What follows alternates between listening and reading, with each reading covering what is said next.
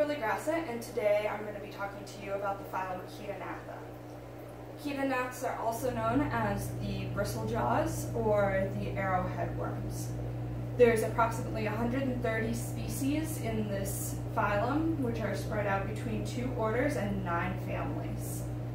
The first record of a chaetognath was recorded by Martinus Slabber in 1775, and the first known chaetognath to be kept in captivity was noted by Charles Darwin. So what is a chaetognath? A chaetognath is a planktonic animal that displays bilateral symmetry. It has a complete digestive tract. It's a protostome, a coelomate, and it lacks a circulatory, respiratory, and excretory system. So where do these fall in the phylogenetic tree? This is very much contested right now in the science world, and a lot of it surrounds the idea of the blastopore development.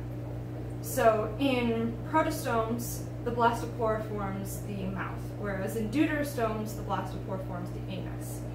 In chaetognaths, the blastopore doesn't develop into anything, which makes it hard to distinguish between whether it's a deuterostome and a protostome. In addition to the blastopore not being much help, um, the chaetognaths see a secondary development of the mouth, so the anus forms first and then the mouth, which makes it look like a deuterostome. In addition to this, they also have uh, enterocoelous formation of body cavities, which coincides with uh, deuterostome characteristics. However, molecular evidence places this group close to the protostomes, um, along with a couple of other factors, such as they have a form of spiral cleavage, but it's highly modified um, to the point where it doesn't even look like spiral cleavage, it looks like radial cleavage. And so currently I think the best place for these guys is over with the protostomes. Um, however, I don't think that they fit into the subclades of Ecdysozoa or Spiralia. Um, obviously, they don't undergo ecdysis, which is why they wouldn't be placed with the ecdysozoans, and they don't exhibit true spiral cleavage, which is why I wouldn't place them with Spiralia. Again, this is highly contested, but it seems like it belongs with the protostome branch of the phylogenetic tree, just probably as an outlier as seen in this diagram. So I wanted to take a few minutes to talk about the body systems. So obviously they don't have an excretory or respiratory system.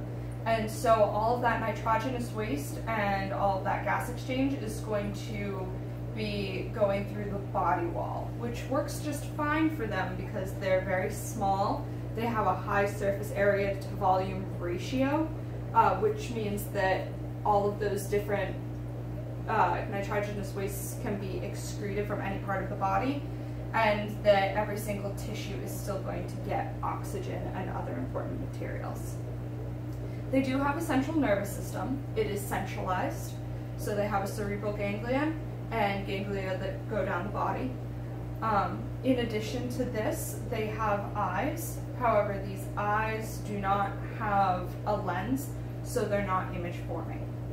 What's unique about their eyes, however, is that they're split into five parts, and each part is separated by an opaque pigment. And so what this allows them to do is determine the direction and intensity of light. They also have mechanoreceptors, they're hairs on the side of the body, which work similar to the lateral line and they can detect the movement and the location of prey items. In addition to all of this, it's thought that they probably have chemoreception, however, there's been no hard evidence of chemoreception in this group. In terms of reproduction, they are all hermaphroditic. They do not self-fertilize, however. They are internal fertilizers, and they undergo direct development, so they don't see a larval stage. In terms of their movement, they have a series of fins, either two on the posterior side along with like a caudal fin, or one or some sort of combination. And they use these for movement as well as their longitudinal muscles. Um, however, they are still plankton, so they are still subjected to the currents. What's most unique about a chaetognath is probably its head morphology. Um, chaetognaths have these spines, which can all be manipulated individually, and that allows for a great maneuvering and manipulation of prey um, near the mouth. They can also be covered by a retractable hood when necessary. In addition to these spines, chaetognaths also have teeth. They're very small and typically hollow. Um, they are venomous, and this has been found in multiple species across multiple genera. Um, the poison that they seem to, or the venom they seem to use is called TTX, which blocks sodium ion channels and causes paralysis in their prey.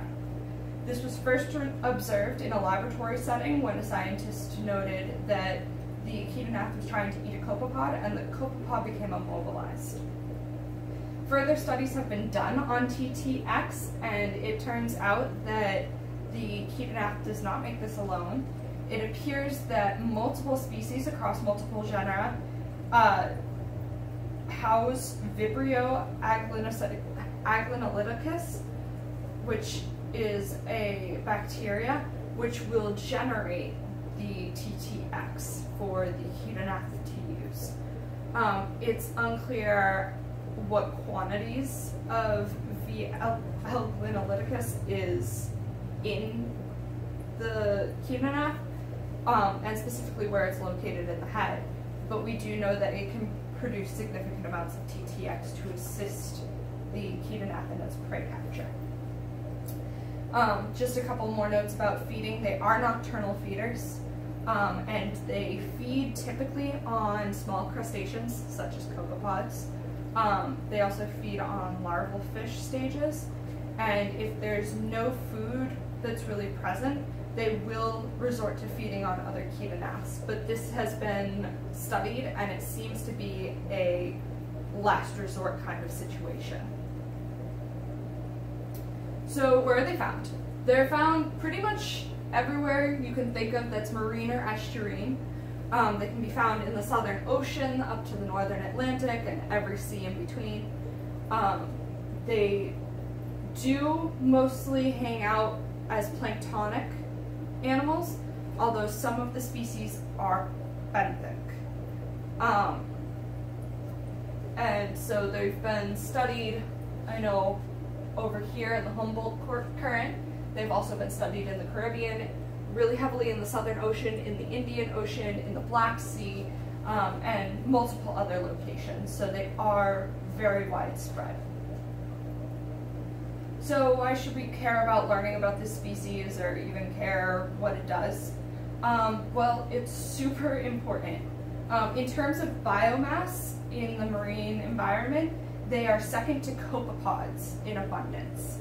Um, so they're clearly a very integral part of the food web, and thus we need to understand their movements and their uh, preferred habitats.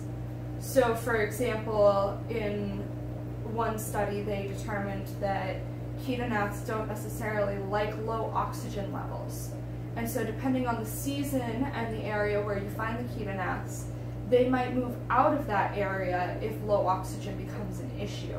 And so we have to look at that and say, well, does it create a, a trophic cascade? Does this affect fish movement? Does it, this affect other predator movement up the food chain?